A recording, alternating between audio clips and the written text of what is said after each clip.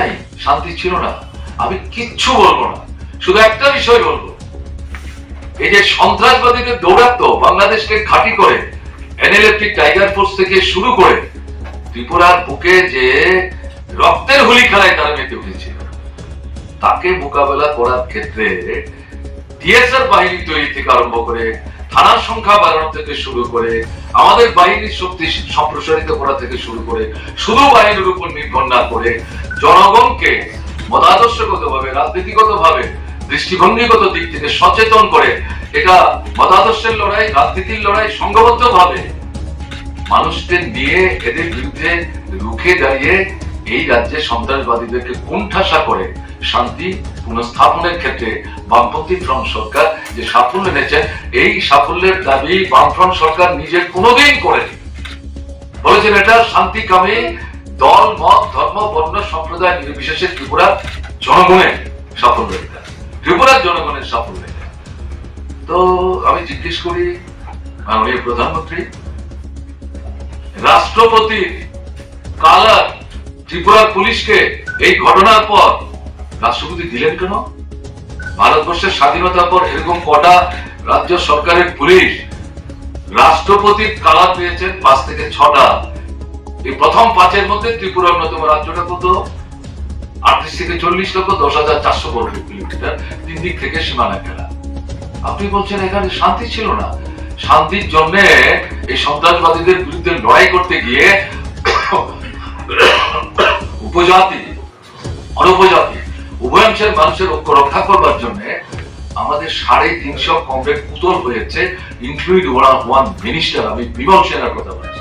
স্বাস্থ্যমন্ত্রী খুন হয়ে গেছে। তার নিজের জন্মভূমিতে। প্রধানমন্ত্রী, আপনি ভুলে গেলেন। আপনার বাড়িতে আপনি প্রধানমন্ত্রী হওয়ার পর মুখ্যমন্ত্রীদের মিটিং ডেকেছিলেন ডেভেলপমেন্ট কাউন্সিলের মিটিং বাড়িতেই করেছেন, সেখানে খাওয়া দাওয়ার ব্যবস্থা। খাওয়ার পর আলাদা করে নিজেদের মধ্যে আলাপ আলোচনা ফ্রি ডিসকাশন করার জন্য আপনি সবাইকে নিয়ে বসেছিলেন আমি চলে আসব। আমাকে জোর করে একটু বসালেন। বসিয়ে বললেন, একটু বলে যান না, কি করে আপনারা এক্সট্রিমিজমকে মোকাবেলা করছেন? আমি সংক্ষেপে দু চার কথা বলে সবার কাছ থেকে হাত জোর করে বিদায় নিয়ে আমি বলছি, আমাকে একটু পরে গিয়ে প্লেন ধরতে হবে, নাহলে আমি প্লেনটা মিস করব। প্লিজ ডোন্ট শেষ পর্যন্ত প্রধানমন্ত্রী বললেন, না, আপনি যান। আপনি তারপরে আসলেন ত্রিপুরায় পালাটানায় কি বলছেন? ডেভেলপমেন্ট হয়নি আরে পালাটানার সেকেন্ড ইউনিট তো আপনি উদ্বোধন করলেন এবং সেই ইউনিট উদ্বোধন করতে বিশাল জনগণের যে উপস্থিতি, আপনার তখনকার পাওয়ার মিনিস্টার আমার মনে আছে এখনও উড়িষ্যার মন্ত্রী কেন্দ্রীয় মন্ত্রী রয়েছেন। আমি ওখানে দাঁড়িয়ে যখন সম্ভাষণ করে গিয়ে বসলাম এবং প্রধানমন্ত্রী বক্তৃতা করতে গিয়ে বললেন, এ তো অসাধারণ ঘটনা। এই তো হচ্ছে সংঘ শক্তি, সংগঠনের শক্তি।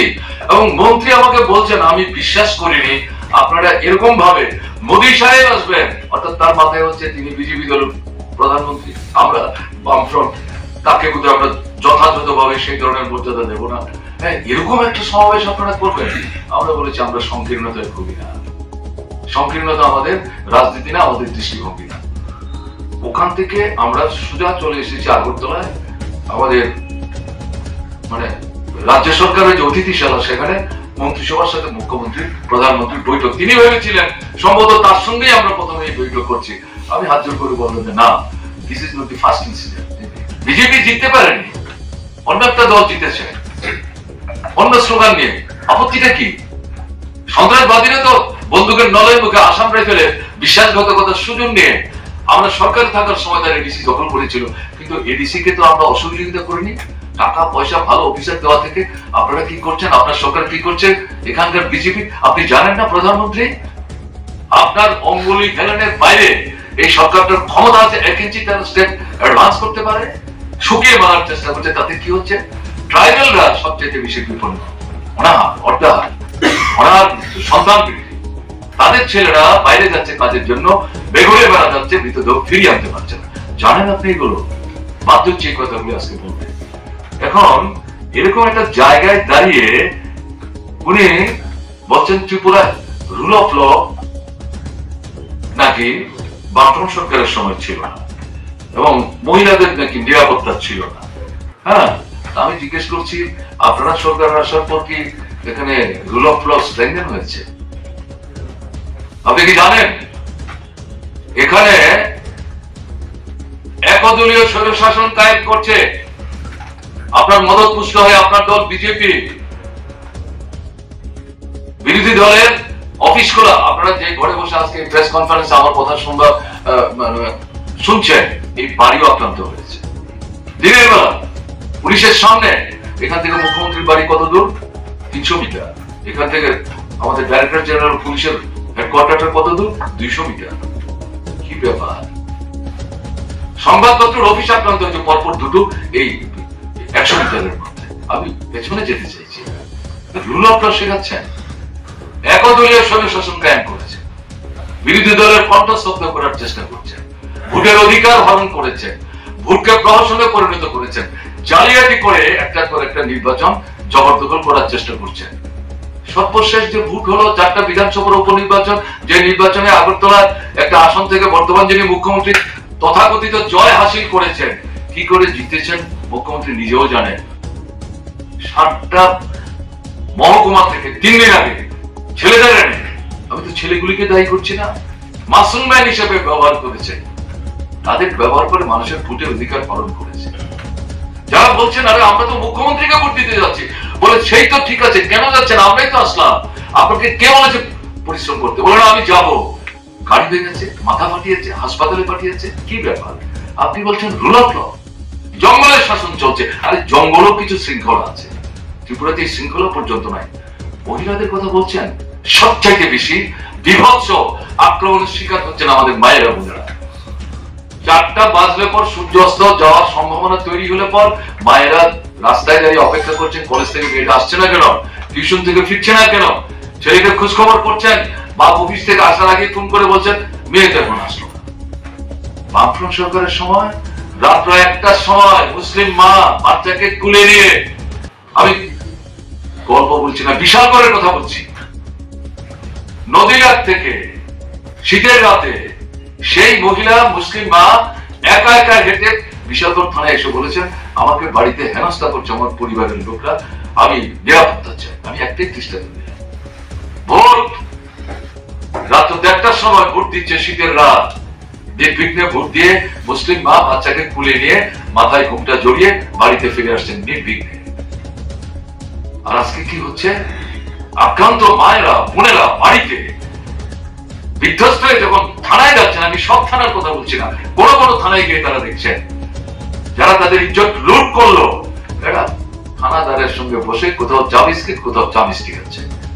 আর থানাদার দাঁতবার করে খিলখিল করে হাসতে হাসতে আপনার অমানবিক মানে চাউনি দিয়ে কেন এসছেন জানি তো, বাড়িতে চলে যান, মামলা হবে না। যার এলাকায় আপনাদের এলাকার যারা মানে গ্রামের বুড়ল মাতাব্বর আছে, তাদের সঙ্গে কথা বলে মীমাংসা করুন। গ্রামের বুড়ল মাতাব্বর মানে কি? মন্ডল তারাই তো সবকিছু লুটপাট করছে। কাজে এর অর্থটা কি? এটাকে আইনের শাসন বলে? আপনি বলছেন বাইরা বোনেরা নিরাপদে আছেন? প্রধানমন্ত্রী, জেনে বলছেন না নিজেদের পিঠ বাঁচাবার জন্য এই সমস্ত কথাবার্তা বলছেন। আপনি যে মাঠে বক্তৃতা করছেন মা তো ছিল, আপনার কথা শুনে হাততালি দিয়েছে, মাথা নুইয়ে বসে রয়েছে। আপনি বলেছেন, স্লোগান দিতে, জয়ধ্বনি দিতে তারা চুপ করে থেকেছে। সামনে আপনাদের অ্যারেঞ্জ যে কিছু ছেলে, তারা ছাড়া তো আর কাউকে তালি বাজাতে দেখা যায়নি। প্রধানমন্ত্রীর মূল মাথা ব্যথা যেটা, শেষের দিকে আলোচনা করলাম বামফ্রন্ট কেন কংগ্রেসের সঙ্গে, কংগ্রেস কেন বামফ্রন্টের সঙ্গে কাছাকাছি আসবে? তা আপনারাই তো আমাদের এনে দিয়েছে ঠিকই তো।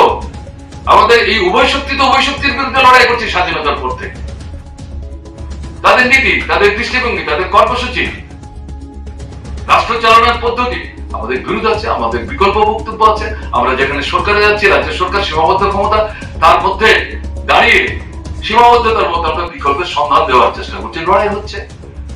কিন্তু ত্রিপুরা এই যে একটা ফেসিস্টিক রুল চলছে। সংবিধানকেও কিছু করে আমি কথাগুলো বলছি রিপিট হয়ে যাবে। এরকম জায়গায় আপনারাই তো বাধ্য করেছেন আমাদের। এবং ত্রিপুরার মানুষও চাইছে, এই অরাজকতা থেকে কি করে আমরা রক্ষা পাবো? দল মত নির্বিশেষে এদেরকে বিচ্ছিন্ন পরাস্ত করবার জন্য, ক্ষমতা থেকে উচ্ছেদ করবার জন্য সবাই এক হওয়ার চেষ্টা করুন। আমরা আবেদন করলাম গণতন্ত্রের জন্য। ধর্ম নিরপেক্ষতার জন্য, শান্তির জন্য, সুস্থিতির জন্য আসুন সবাই একসাথে আমরা দাঁড়াই। কংগ্রেস দল সমর্থন করল, একটা আবেদন পত্র দেওয়া হলো, মানুষের মধ্যে সাড়া পড়ল, তারপরে ভোট আসলো, আলোচনা শুরু হলো। তেরোটি আসনে কংগ্রেস লড়বে, সাতচল্লিশটা আসনে বামফ্রন্ট লড়বে, আমরা আসন ভাগ করলাম এবং পয়েন্ট একটাই বামফ্রন্ট তার নিজের ইস্তেহার দিয়েছেন, কংগ্রেস তার নিজের ইস্তেহার দিয়েছেন। কিন্তু মূল পয়েন্ট একটাই, সেটা হচ্ছে এই দুঃশাসনের রাজত্বের অবসান চাই। বিজেপির দুঃশাসনের হাত থেকে ফেসিস্টের রূপ থেকে ত্রিপুরার মানুষকে মুক্ত করতে হবে। ত্রিপুরার জনগণের স্বার্থে ভাবেন, চিন্তা করেন, লড়াই করেন, এরকম শক্তির হাতে ক্ষমতা তুলে দিয়ে একটা জনদরদী সরকার তৈরি করতে হবে। প্রধানমন্ত্রীর মাথা খারাপ হয়ে গেছে, কারণ প্রাইভেট বুট চলে গেছে আই ফিফটি অখুশি, আলাদা রাজ্যের দাবি মানা হয়নি, সম্ভব না, আমরা জানতাম। তারা এখন অন্য দলে চলে গেছে। ট্রাইবেল ভোট তো কমে গেল। নন ট্রাইবেল ভোট, অবিজেপি অবাক যারা সেই সময় এক হয়ে বামফ্রন্ট হটাতে পারছিলেন না, নিজেদের শক্তির জোরে আঠারো নির্বাচনে ভোট দিয়ে সরকার আসতে সাহায্য করেছিলেন। তারা বুঝতে পেরেছেন, তারাও ঠকেছেন, তারাও প্রতারিত হয়েছেন, তারা দল ছেড়ে দিয়ে বেরিয়ে এসে আবার নিজেদের দল অনেকে ফিরে এসেছেন। এতে কি দাঁড়াল? ট্রাইবেল ভোটও কমছে নন ট্রাইবেল ভোটও কমছে, এবং বিজেপি কে যারা ট্রেডিশনালি সাপোর্ট করতেন, তাদের একটা অংশ বেরিয়ে আসছে। আগের সরকারটাই তো ভালো ছিল, আমরা তো ভুল করেছি। নিজেদের পায়ে নিজেরা কুরুন মেরেছি নিজেরা খাল কেটে কমিয়ে এনেছি। বাঁচবো কি করে? আমরা দেখেছি এক দেড় বছরের ব্যবধানে মানুষ এসে বাড়িতে পার্টি অফিসে হাতুর করে, মাথা ধুইয়ে, চোখে জল টপ টপ করে ফেলে বলছে, আমাদের ক্ষমা করুন। তো বুঝতে পারছি না কেন কি হয়েছে? বলে, না, আপনাদের এবার ভোট দেয়নি ভুল করেছি। বুঝতে পারেনি আমাদের মাফ করুন। কি করে বাঁচবো আমরা? তাদেরকে তখন পিঠে হাত দিয়ে বলতে হচ্ছে একসাথে লড়াই করেই বাঁচতে হবে। মানুষই তো ভুল থেকে শিক্ষা নেয়। আপনাদের এই যে অভিজ্ঞতা, যেটা বক্তৃতা করে বোঝাতে পারেন আঠারো নির্বাচন। দেড় বছরের মধ্যে বুঝে এলেন, এটা বক্তৃতা করলে বুঝতেন না। ফলে এই জায়গায় দাঁড়িয়ে মানুষের কাছ থেকে কিন্তু এই আওয়াজ উঠল, এই স্লোগান উঠল, এই যে আকুতি উঠল, এই অভিপ্রায় ব্যক্ত হলো, তার থেকে আমরা কাছাকাছি এসেছি। ভয় পেয়ে গেছেন? আপনাদের লোকরা সরে যাচ্ছে? হবে তো, হতে বাধ্য তো।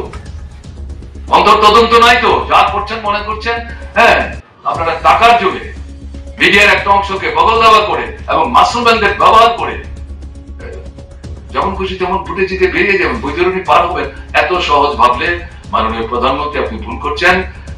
তরুণী টলটলায়মান এতে ছিদ্র হয়ে গেছে, জল ঢুকতে শুরু করেছে, ডুববে, একে রক্ষা করতে পারবেন না, যারা এতে থাকবেন তারা ডুববেন, যারা বুঝতে পারছেন, ইতিমধ্যে লাফিয়ে লাফিয়ে পড়তে শুরু করছেন। প্রতিদিন শত শত মানুষ, বিজেপি ছেড়ে বামপন্থের ফ্রন্টের লাল ঝান্ডা তারা হাতে তুলে নিচ্ছে। এটা হচ্ছে ঘটনা।